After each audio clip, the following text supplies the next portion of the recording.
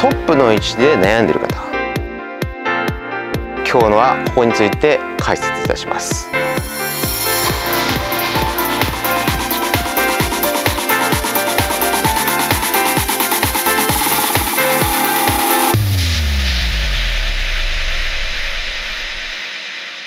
皆さんこんばんは。原田ゴルフ原田修平です。今日はねトップの位置バックスイングのバックスイングのトップの位置をちょっとお話ししていきたいなと思います。トップの位置にね悩んでる方いるんですね。ここら辺のここの位置。いつもこうチェックしてる人いると思うんだけど。でここをどういうふうに作っていくのか。っていうことのまずは、えー、入門編というね。これをぜひまずやってほしい。まずやるっていうポイントを解説します。でその後にですねそれがどうしてもできないというねなぜできないのかというその応用というかその理由を解説しますので是非ですね後半が重要なことですね。前半っていうのはま基本的な話になっていますからそこからあまり誰も言っていない基礎的な話からの応用というものを、ね、ちょっと解説していくんで是非ですねバックスイングのトップ悩んでる方は是非最後まで聞いてみてください。じゃあまず、えー、トップの位置。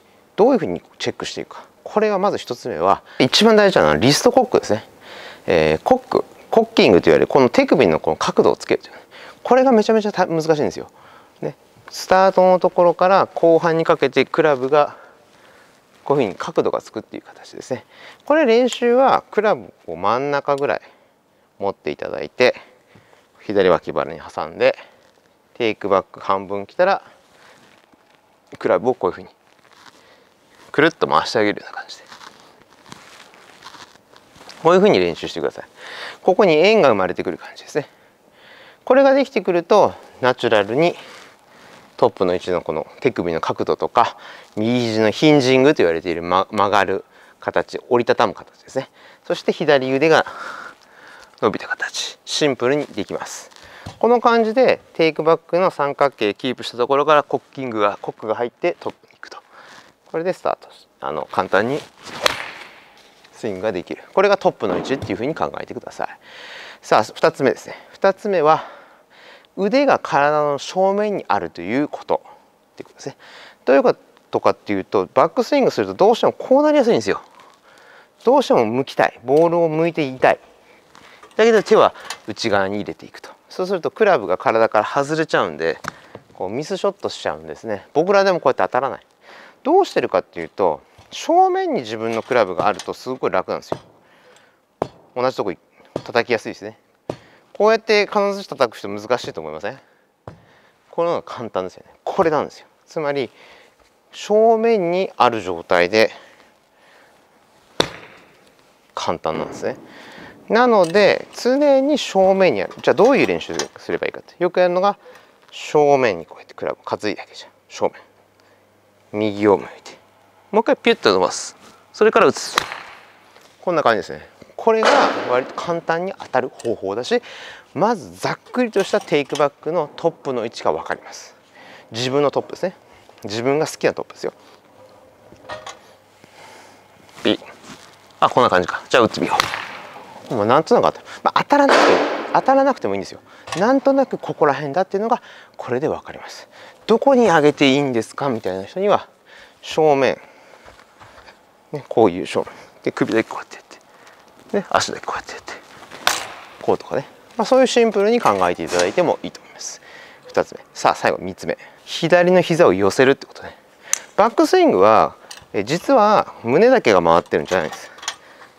足も回ってる。ここも動く。何も動かさない。回らないんで必ずバックスイングしたら少し寄せるような感じで。意思がここに行かないと寄りませんから。まず初めやってください。分かったら意識しなくてもこうやって回るから。ね。なので初めこう胸を回せって言うと胸しか回さないんですよ。だからバックスにこうなっちゃうわけ。じゃなくてちゃんと足も使ってあげる。そうするとこういうふうになる。僕らはもうゴルファーとしてね何十年もやってると肩バックスバックスインで肩回せって言うとここも回すんです。でこれ僕の常識だって皆さんの常識じゃないかもしれない。なのでちょっと寄せるっていうイメージ。でその時に下方向っていうのが結構ポイント。横じゃないよ。上でもないからね。下方向。そうするとこの後に引き上げる力。これがパワーにつながりますし飛ばしのポイントになる。こういう感じですね。こういうふうにちょっと寄ってる感じあるでしょ。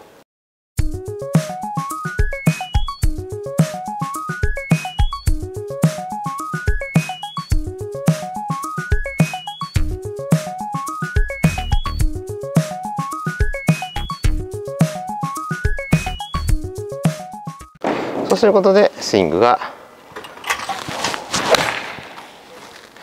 バックスイングがスムーズになります。さあこの3つ。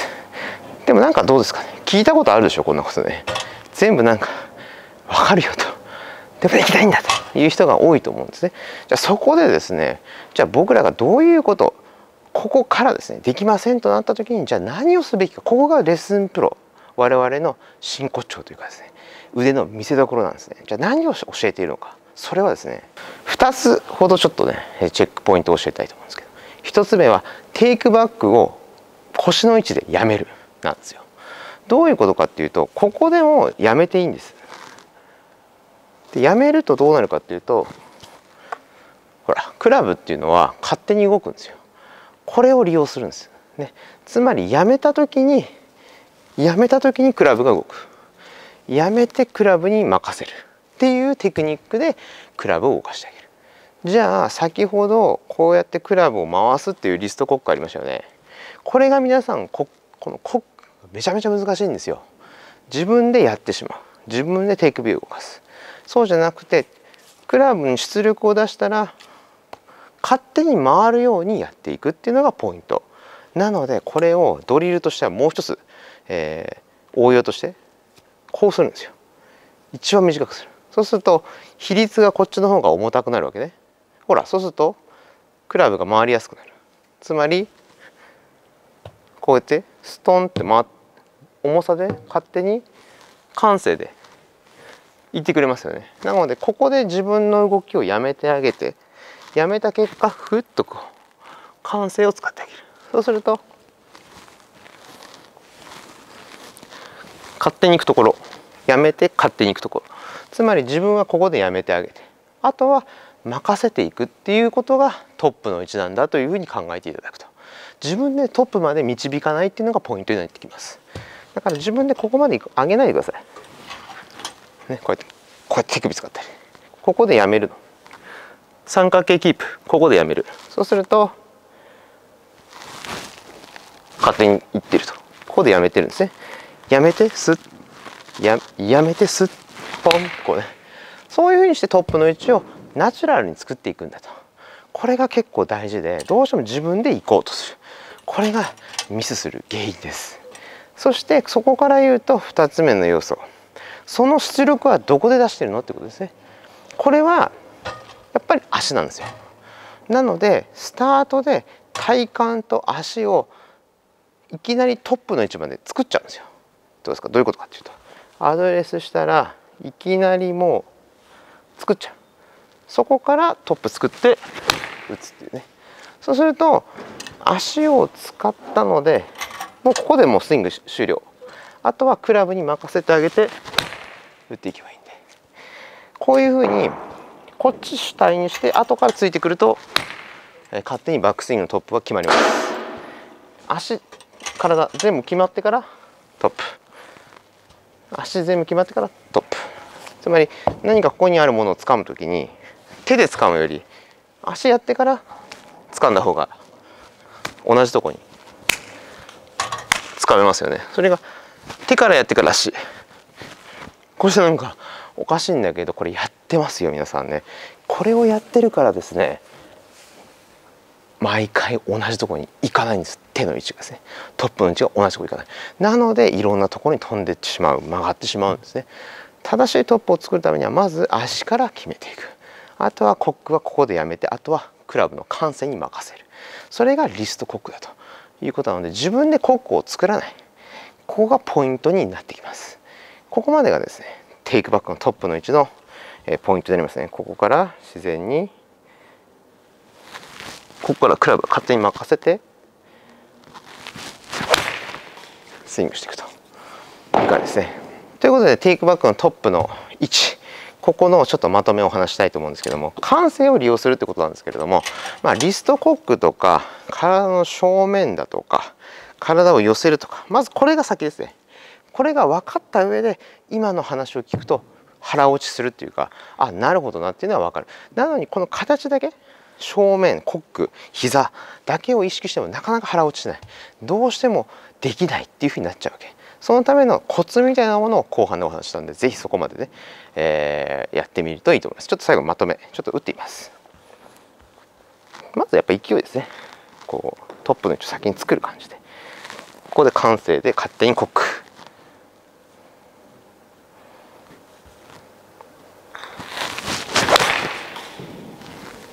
感じですね。もう一球。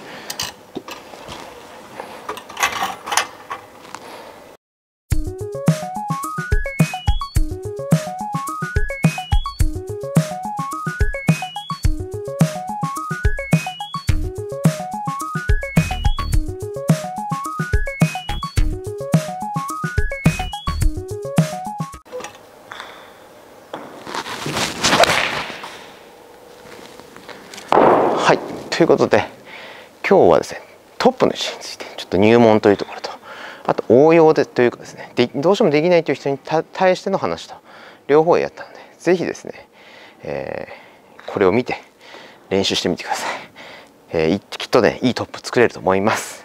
ということで、えー、このチャンネルでは私のレッスン経験を、え毎日ですね、え更新しているチャンネルですので是非ともね見逃したくない方はチャンネル登録とコメントと高評価よろしくお願いします。あと、えー、オンラインサロンではね、遠隔のレッスンやってます。このレ私のレッスンの会場が遠いと受けられないという方はね、えー、ぜひ遠隔でレッスンしてますし、えー、私全国でねレッスンしてますんで、えー、いろんな、えー、リンク貼ってますから、そこから、えー、南は福岡、北は仙台からまで全部やってますから、ぜひですね、えー、受けたい方はお申し込みください。それでは今日はここまで終わります。さよなら。動画最後まで見ていただきありがとうございます。もし良いと思ったらチャンネル登録をよろしくお願いいたします。もっとゴルフが上達したいという方はオンラインサロンに参加してみてください。YouTube では語っていない有益な情報を発信しております。その他オンラインでのゴルフ指導も行っております。家でも学べる新しいゴルフスクール原田ゴルフオンラインサロンもよろしくお願いいたします。